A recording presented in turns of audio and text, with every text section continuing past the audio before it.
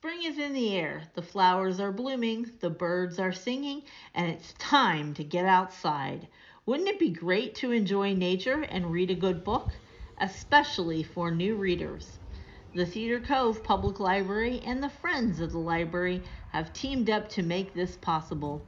Enjoy one of the great public parks in Cedar Cove and bring the kids or the grandkids. The kids will be delighted to read a story that will highlight their experience. Do you want more information? Stop by the Cedar Cove Public Library or visit our website at cedarcovepublic.org.